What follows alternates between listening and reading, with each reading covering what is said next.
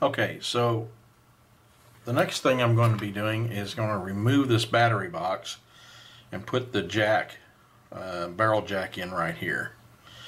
Now just for the sake of argument, I have a video I can always refer back to, uh, but you can see there's a little plus sign right there and a little negative sign right there. So let's pop this over just pull these guys through here real quick.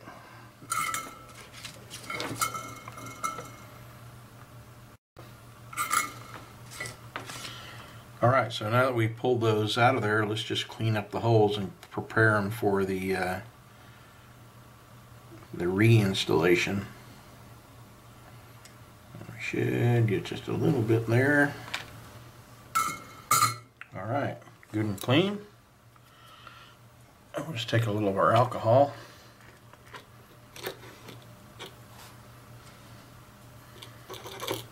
Clean that circuit board up a little bit.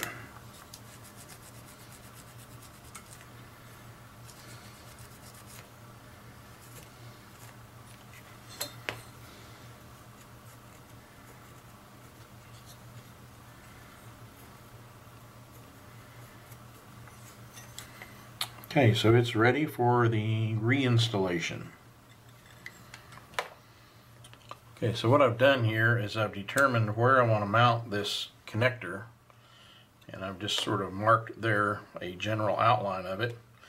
I'm going to take it over here to the vise and center punch and drill.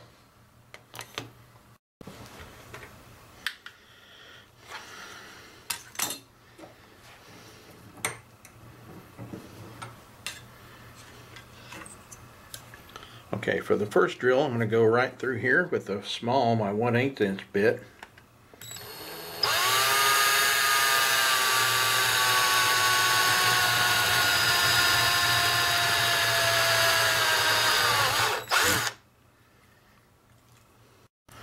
Alright, so then in my final drill, I'm going to go... I've actually put this in the vise.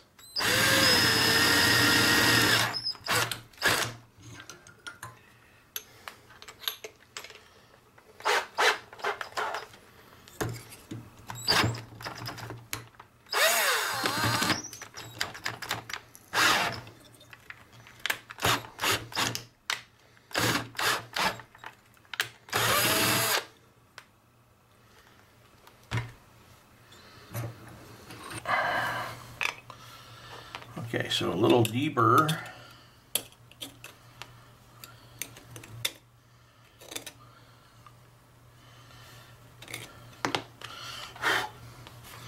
Try put our little pallet plug, there it is. And the nut will go on there. Alright, so a dry fit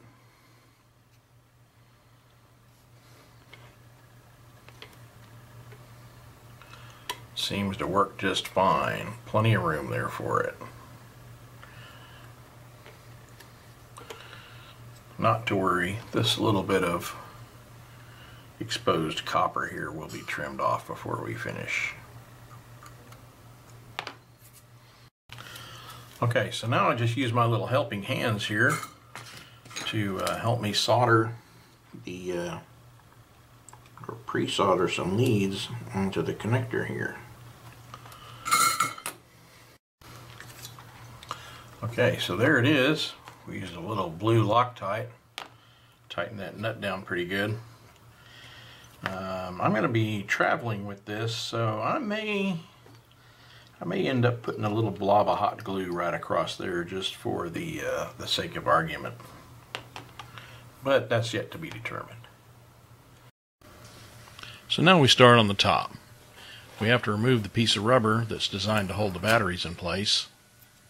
We'll set that aside and use it as a later date. So we start on the top just as we did on the bottom by cutting the first piece to the approximate width. And now we'll cut some slots in it and start applying the tape. Now we just continue adding tape like we did before, making sure we have an overlap. One more overlap And we continue working.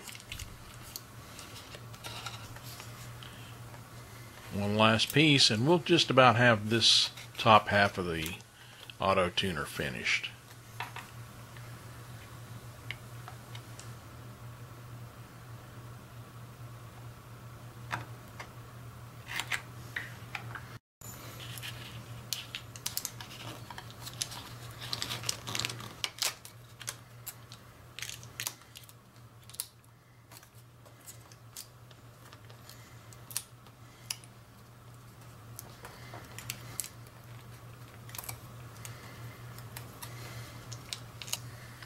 So now we take our attention back to the bottom of the case and we'll fit the front and back together and fit the, uh, the circuit board down in.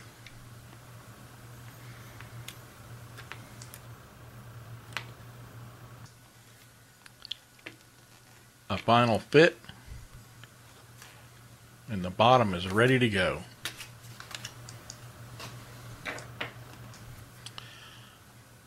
Now we take the four screws and reassemble the circuit board to the bottom of the tuner.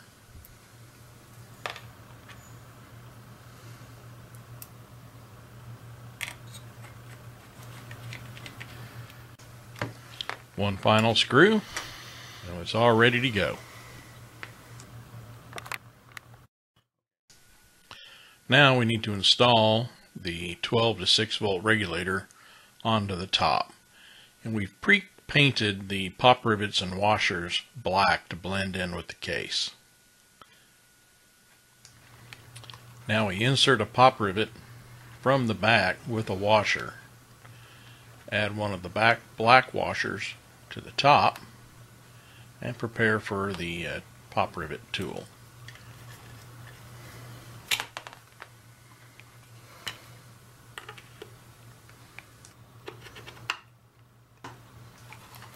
We repeat the process for the final side.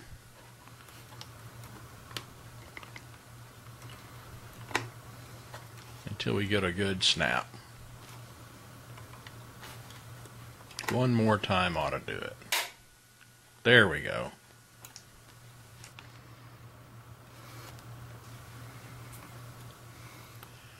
Now we have to reattach the rubber that's designed to hold in the batteries. To do this, I'm going to use some hot glue.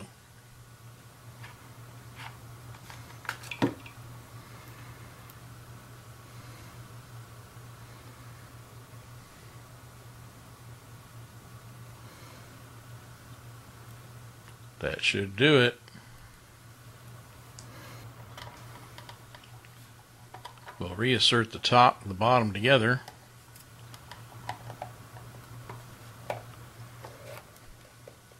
It should be ready to go.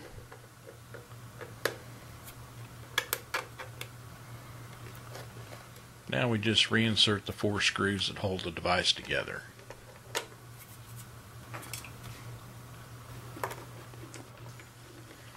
Alright, finish off that last screw. And there we go. One completely assembled unit, RFI shield, and power jack. Okay, so I've got everything reconnected up. I'm running the uh, the radio on this battery, and this battery is now plugged into the back of the uh, Z817 with the barrel connector. There are currently no batteries inside here. Everything is running off of the 12 volt to 6 volt uh, regulator through that battery. The first thing I want to see is can we pass serial data through the uh, auto tuner into the radio. So I'm going to do that by turning on my ham radio deluxe. There we go.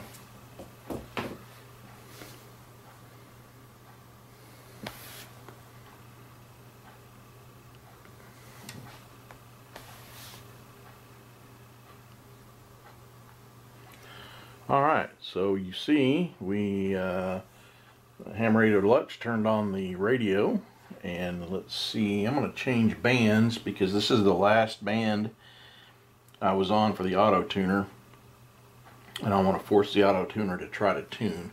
So I'm going to jump from 20 meters over here to 40 meters.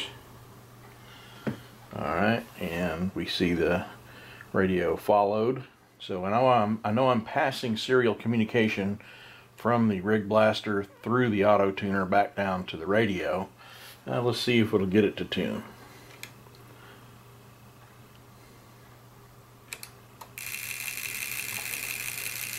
Radio in to transmit. You can hear the relays in there going to town and life is good. Okay, so the project went really well. Total time on the bench was about three and three hours. The majority of that time was just getting the tape on the box.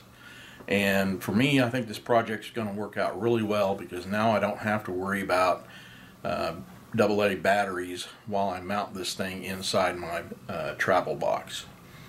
So that's it for this video and this uh, series of videos. And again, I thank you for watching. I'm Dave, AF5DN.